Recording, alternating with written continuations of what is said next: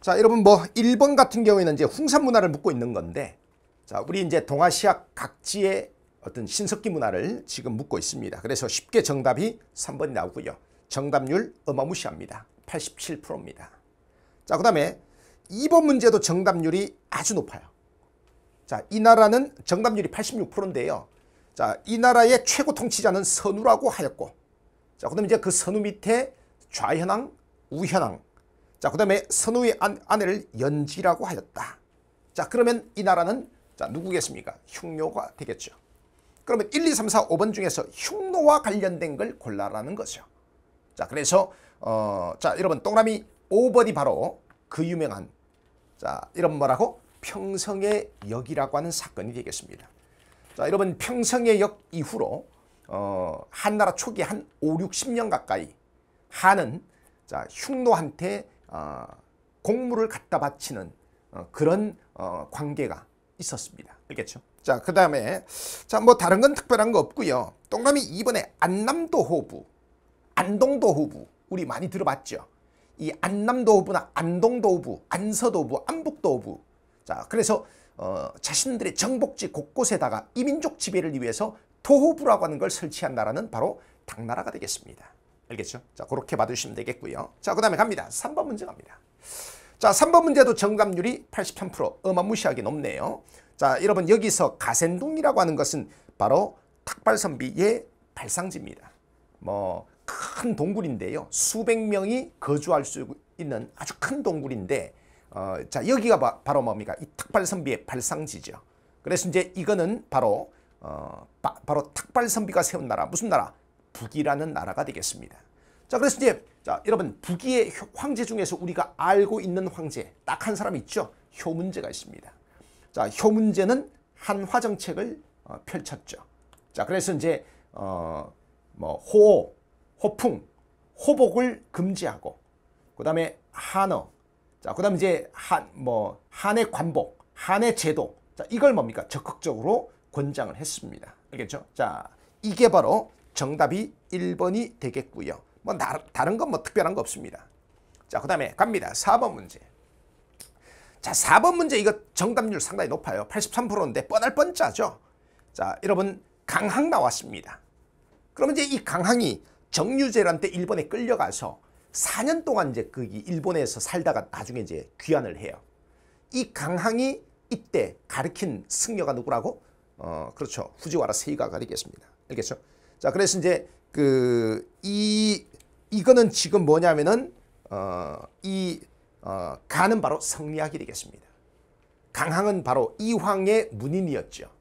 자, 성리학이 되겠습니다. 그러면 1, 2, 3, 4번 중에서 1, 2, 3, 4, 5번 중에서 성리학과 관련된 것 당근 빠따 3번이죠. 자 동그라미 1번에 예수회 선교사 캐톨릭이잖아요. 캐톨릭. 자 그다음에 이제 동그라미 2번에 자 요거는 바로 이제 일본인들의 어떤 그 신국 사상이 되겠습니다. 자 그 다음에 동그라미 3번은 불교가 되겠고 동그라미 4번은 바로 뭡니까? 그렇죠. 이제 이건 이제 어, 바로 청나라 때 어, 풍미한 유학사죠. 바로 고증학이 되겠습니다. 자, 그 다음에 자 5번 문제 정답률이 41%라는 얘기는 상당히 많이 틀렸다는 얘기죠. 자, 이 막부는 자, 그러면 막부라고 하면 셋 중에 하나겠죠. 가막부나 막부나 무로마치 막부나 자, 그 다음에 독국가와 막부나 셋 중에 하나입니다.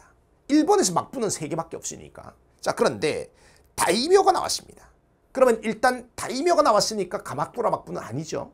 무로마치 막부이거나 아니면 자, 그 덕천 막부. 알겠죠? 독국가와 막부거나 둘 중에 하나겠죠. 그런데 봤더니까 해외 도항을 허가하는 문서를 발급했다고 되어 있습니다. 이걸 이제 우리가 쉰장이라고 하죠. 이걸 우리가 쉰선무역이라고 합니다. 언제? 17세기 초입니다. 17세기 초에 한 30년 가까이 당시에 에도 막부, 덕천 막부가 자, 요 쉰장을 발급하면서 어, 일본인들의 어떤 그 도항을 엄격히 통제했었습니다. 자, 그런데 문제는 이 5번 문제가 처음 나온 게 아니라는 거죠. 수능 평가원에 자, 뭐 제가 기억하기로는 이게 2016년인가 2017년에 나왔죠. 자, 그래서 어 이게 바로 자, 이런 말하고 슈인선무역 이걸 말하는 거기 때문에 이게 언제냐면은 이게 17세기 초입니다. 17세기 초고 나중에 이게 뭐로 넘어가는 거죠? 그렇죠. 그 나가사키에다가 어, 대지마를 만들고 이제 상관을 설치하고 네덜란드인들에게 자, 이 나가사키를 드나들 수 있도록 한 거죠. 자, 그래서 이제 이 쉰섬 무역이 17세기 초에 에도 막부 초기에 자, 한 30년 가까이 이루어졌다는 거죠. 그러니까 이제 에도 막부를 고르라는 얘기예요. 그 에도 막부를 고르라는 얘기니까 동그라미 1번은 무로마치 막부, 동그라미 2번도 무로마치 막부. 그렇죠? 그 다음에 동그라미 4번도 무로마치 막부 시대, 시대고 동그라미 5번도 무로마, 무로마치 막부 시대예요. 그렇죠? 자, 동그라미 3번만이 이게 이제 자, 1608년에 자, 여러분 사스마번이 어, 류큐 왕국을 정복하면서 류큐 왕국은 이때부터 양속 관계를 자, 우리가 이제 양속 관계라고 하죠. 명나라에도 속하고 중 쉽게 말하면 중국 왕조와도 조공책봉 관계를 맺고 있고 그다음에 사스바번을 통해서 일본의 에도 막부에도 속하고 자 이런 이런 식으로 해서 이제 당시에 류큐는 양속 관계라고 하는 그런 표현이 이제 요것 때문에 등장한 거 아니겠습니까? 자 여러분 왜 정답이 3번인지 아시겠죠?